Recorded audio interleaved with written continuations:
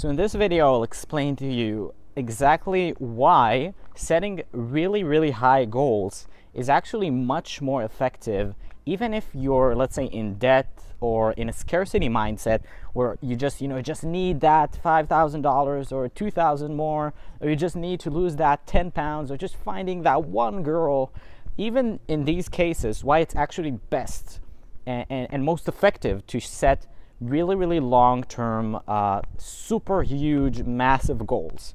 So I'll start this off by uh, quoting Bruce Lee, who said famously that goals aren't actually things that are meant to be accomplished. Of course, you would like to accomplish them, but their purpose isn't to be accomplished. Their purpose is to serve as aims. So things we can actually aim for and then, you know, hope for the best and hope we get as far out there as we can. So I want to uh, kind of use an analogy of comparing goals with destinations. And I'm talking about logistical destinations, as in uh, you want to get from here to there physically. Um, so the, your destination, your goal, is going to be probably, tell me if you're, you're a different person, but it's probably going to be what actually uh, is the factor where you actually choose which type of vehicle you use. So let's say that you have a small girl, a small goal, like, oh, I just need an extra $3,000 a month. Uh, this is analogous to, um, oh, I just want to go from here to the local supermarket that's a three minute walk. Now, let me ask you this. Now, obviously, I'm not saying that getting that money that you need is as easy as taking a walk to the supermarket, but I'm talking about using uh, distance of location as kind of a comparison to goals because if you look at the size of your goals i guess you would agree that wanting to have an extra 3000 a month is really not the most uh, fur- furthest away goal you can set it's not like like uh, aiming for a million for example it's kind of a different scope or a billion for that matter so let's say that you're planning for a trip, a small trip, because you're in scarcity, so you just need that bit of money. So you plan for a small trip. Oh, I just need that bit of money. I just need a bit more money, and then I'll be happy. That will fix my problems. Now, if you plan on a small trip to the supermarket that takes three, four minutes, which vehicle are you most likely to use? Are you going to get a car? Uh, I really don't think so. Like, it's very rare that you'll use a car for a three minute drive a three minute uh, walk, so it's like a 30 second drive. Now, would you use a, a plane to get from here to there? Of course not. But would you walk? Sure. Now, let's say that you set a medium sized goal. Like, okay, I don't aim for just that 3000 that would save me, please, I just need that bit of money. Again, scarcity. But let's move to a conservative type of goal where you think, oh, uh, I'll just, um, I just, I, I want to have an extra hundred thousand a year, or, or uh, I want to be a millionaire when I'm older. Now, of course, we, uh, I don't just mean money. You know, fuck money. I mean, I mean everything. I mean, I just want to be this happier. I just want to have a nice house. I just want to be this famous or this successful. I'm not looking for massive success. No, no, I just want this much success. I just need that much success. Okay, so conservative everything. It doesn't matter which area you're talking about. Don't just consider money. We're talking about goals. Um, you know, I just want to lose this much pounds. I just want to be this much healthy. I don't want to be the best or I don't want to be like super, super healthy. No, just this much. So when you set these kinds of goals, if it's the medium size, well, you know, that's analogous to taking uh, the car. Uh, because if you're going to take a trip that takes a 10 minute drive, 15 minute drive, 20 minute drive, uh, obviously, you know, you're not going to walk that distance. Uh, you could, but it's not really effective. It's kind of a waste of time. Um, so you'll use the car. Now, let's say that you're aiming really, really big. Like, I want to be mega, mega famous. I want to be super successful. I want to be super famous. I want to be super healthy. I want to have uh, mega relationships. Everything is, is big. And it's not big because I told you, it's big because why the fuck not? Like, let's aim big. What's going to happen is that when you aim big, you're probably going to go big, and then you're going to take uh, the, the fastest vehicle you can afford. Uh, might be an airplane for, an, for our analogy, but you know, for, for practical sake, it just means you'll take the most amount, like the biggest amount of massive action you can take.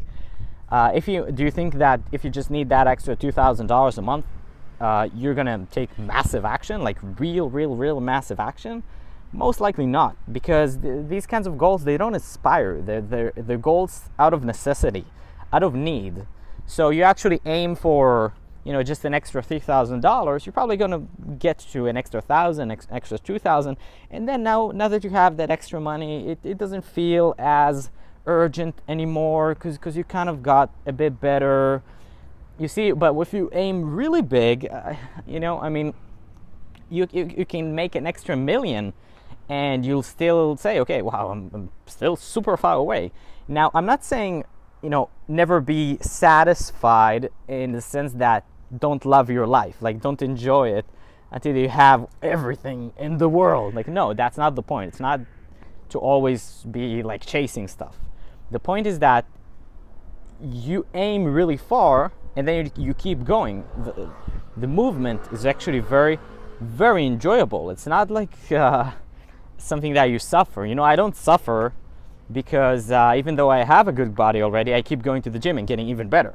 I don't suffer because uh, even though I am getting clients and everything is really cool, I want to be even bigger and I'm not even 1% uh, at my potential yet, or at least at my goals, which when I get to them, I'll probably think, oh, I want, I want it even bigger now. So the bigger the goal, uh, the bigger the vehicle, or the faster the vehicle that you'll use to get to the goal. So the irony is that the guy who needs $2,000 and aims for that, he actually uh, will take more time if he even reaches that much uh, money uh, when you compare him to the guy who aims for 100,000. And the guy who aims for 100,000 is going to get the 2,000 even slower probably than the guy who aims for 100 million. Because the higher you aim, the bigger you think, and the more actions you're going to take because it inspires you more. Again, don't set goals from the head. I, I used to make that mistake. Like, oh, when I make this much money, then I'll be happy. No, I, I'm talking about goals that already just thinking about them makes you happy. Like for me, thinking about being famous is like fuck yeah. Like I just thinking about it, I feel good. Thinking about being healthy, fuck yeah. Thinking about being kind of mindful and present, fuck yeah. Like how do you think I meditate an hour every day with so easily? It's because I, I love the goal. I, it's just it's a massive goal. I don't want to be a bit more in the moment. I want to be like bam, you know. And it's not that I won't be happy until then. It's that I have I'm happy pursuing it. That's why on the uh, sorry for all the Americans if I'm mistaken. I'm so sorry, but that's why uh, in the in the Bill of Rights, I think Constitution, Bill of Rights, in one of them, oh, in the Declaration of Independence, uh, there's the saying, the pursuit of happiness, the right for the pursuit of happiness. Uh, maybe it was intentional, maybe it was a mistake, maybe you thought happiness is something you actually reach at some point, but no, the the pursuit of what makes you happy is the happiness. it's uh, it's a very um, it's a very cool thing. Like going after the things that make you happy makes you happy, uh, and then getting them makes you even happier. And sometimes you don't get them, and that, makes you a bit less happy. But but just going after them in general makes you happy.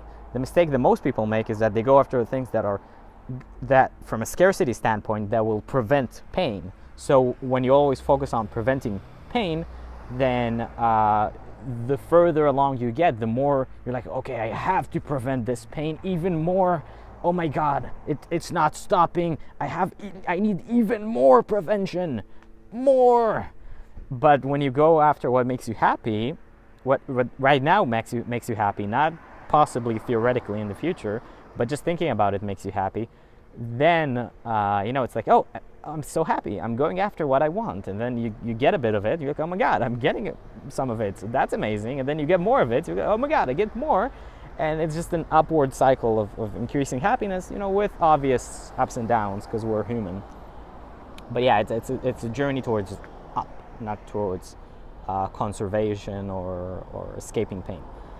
So uh, I hope this makes a lot of sense. Uh, I hope you understand now why it's better to set big goals than just have regular goals. Again, there's really no drawback to setting big goals. Uh, the people who actually were burned or had like a bad experience with setting big goals are always the people that had the pain type of goals that I'm talking about. You know, like, oh, if this works, I'll be happy. And then they failed and then they were miserable. But, you know, when you have something that makes you happy, like, oh, I love doing music, okay, so aim big at it. But uh, why aim for 10 people uh, hearing you? Why not aim for 100,000? Because, uh, again, you aim for 100,000, well, you you're going to start thinking bigger naturally and taking more action simply for the fact that it makes you more happy and more excited to think about it not because like oh my god it's even bigger i have to reach it oh no it's i have to take more no no no no no no no no no it's because oh my god this is so amazing. This is so cool. This is bigger. If this is possible that's so awesome. I need to check it out. I want to do it. It's amazing. That's the kind of place that you want to be getting from uh, not the hurt type of place. Again i hope this makes sense. Um, and thanks for watching. Feel free to ask me any questions. And uh, tell me what you think.